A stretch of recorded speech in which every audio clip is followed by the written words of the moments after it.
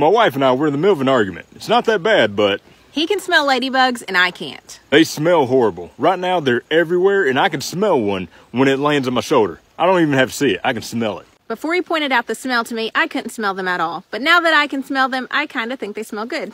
What do you think? That's horrible.